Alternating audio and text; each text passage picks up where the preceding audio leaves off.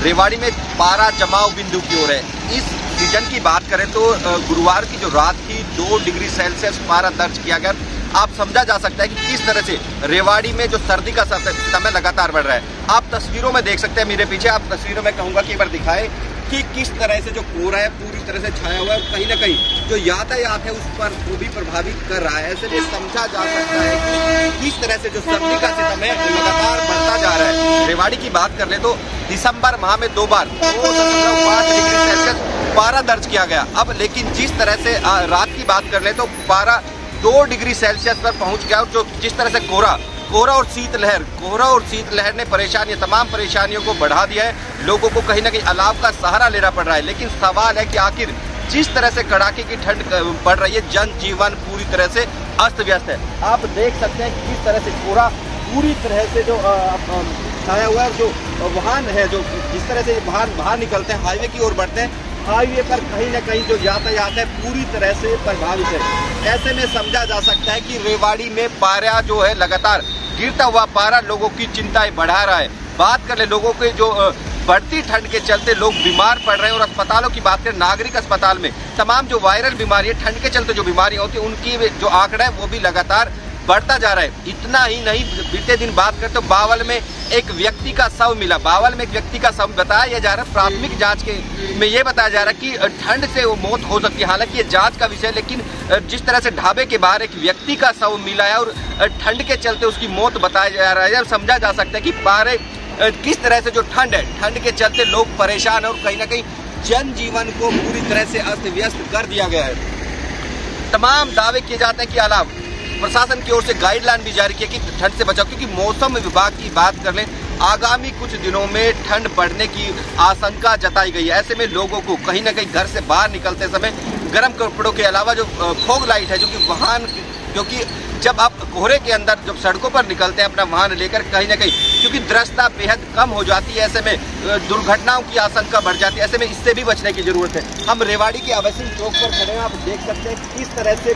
चारों ओर कोहरा छाया हुआ है कहीं ना कहीं क्योंकि लोगों को मजबूरी में जो काम के लिए निकलना पड़ता है, ऐसे मजबूरी है। लेकिन ज़रूरी है कि जो पूरी एहतियात के साथ बाहर निकले, क्योंकि इस जो कड़ाके की ठंड है, जो हार्ड गलाने वाली ठंड है, उससे बचा जा सके। जिस तरह से बावल के भगत भगत सिंह चौक पर एक मसला सामने सामने आया कि एक व्यक्ति की मौत, ढाबे के पास एक व्यक्ति की मौत हो गई और बताया जा रहा है कि ठंड से मौत हुई। ऐसे में समझा जा सकता है कि रेवाड़ी में जो सर्दी का सितम है, कितना भयंकर और कितना खतरनाक होता जा रहा है। हमने चिकित्सकों को भी बात की थी, उनका कहना था कि कहीं ना कहीं जो ठंड के चलते जो बीमारियाँ हैं वो बढ़ रही हैं और कहीं ना कहीं बचाव ज़रूरी है और कहीं ना कहीं एहतियात बरतने की ज़रूरत है। ऐसे में कहीं ना कहीं आने वाले दिनों में करीब एक सप्ताह की बात कर ले तो और ये ठंड बढ़ने की आशंका बताई गई है। मौसम विभाग की ओर से लगातार अलर्ट जारी किया जा रहा है और चेतावनी दी जा रही है कि आने वाले दिनों में ठंड और बढ़ेगी। ऐसे में कहीं ना कहीं उससे बचने की ज़रूरत है।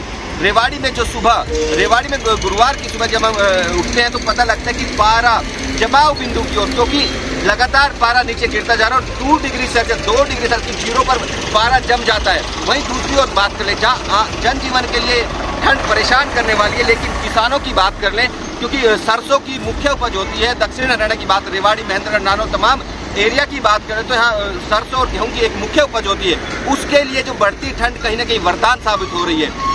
किसानों के लिए ठंड बेहतर कही जा सकती है, लेकिन जिस तरह से लगातार पारा गिर रहा है, कहीं ना कहीं चिंता का विषय और लोगों को राहत देने के लिए भी कहीं ना कहीं तमाम प्रयास होने चाहिए, क्योंकि जगह जगह अलाव जलाने की ज़रूरत है, लेकिन ऐसा रेवाड़ी शहर में प्रशासन की ओर दिखता नहीं है।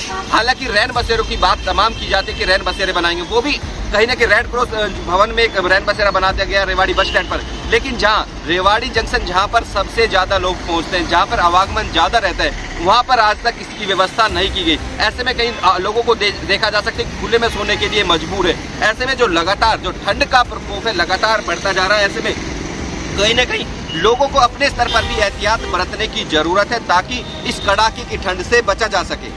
हम रेवाड़ी के आवासीय चौक पर खड़े हैं। आप देख सकते हैं किस तरह से यहाँ पर तमाम जो पुलिसकर्मी ठंड के बीच अपनी ड्यूटी दे रहे हैं, क्योंकि यहाँ पर कहीं ना कहीं दुर्घटनाओं की आशंका रहती है। जिस तरह से कोहरा बढ़ा है ऐसे में दुर्घटनाओं की आशंका भी बढ़, बढ़ती जाती है। ऐसे में वाहन चालकों से तो कहीं ना कहीं फोग लाइट से लेकर तमाम जो है कि एहतियात बरतने की ज़रूरत है। नेशनल हाईवे की बात करें, राष्ट्रीय राजमार्ग संख्या अड़तालीस, दिल्ली जयपुर हाईवे। सफ़ेद पट्टी हाईवे पर नहीं है, ऐसे में कहीं ना कहीं समझा जा सकता है कि जो नेशनल हाईवे अथॉरिटी है, कितनी लापरवाही है, क्योंकि कहीं ना कहीं जो सफ़ेद पट्टी होती है, जो वाहन चालकों के लिए वरदान साबित होती है। ऐसे में सफ़ेद पट्टी नहीं होना कहीं ना कहीं दुर्घटनाओं को बढ़ाने वाला माना जाता है। ऐसे में ज़रूरी है कि कहीं ना जहाँ पर सड़कों पर सफ़ेद पट्टी नहीं है, उन सफ़ेद पट्टी को लगाया जाए। जो भीषण जो कहीं ना कहीं जो ठंड पड़ रही है, उसमें के बीच लोगों को बचाने के प्रयास होने चाहिए, लेकिन ऐसा होता हुआ दिखाई नहीं दे रहा है। ऐसे में जिस तरह से आने वाले दिनों में ठंड बढ़ने की बात मौसम विभाग की ओर से कही जा रही है ज़रूरी है कि ठंड से बचाव के लिए तमाम प्रयास किए जाने चाहिए। हमारी ओर से भी यही अपील की जाती है कि तमाम घर से निकलने से पहले फोग लाइट समेत तमाम जो व्यवस्था है, वाहन चालक उन पर ध्यान दे ताकि जो हादसों से बचा जा सके।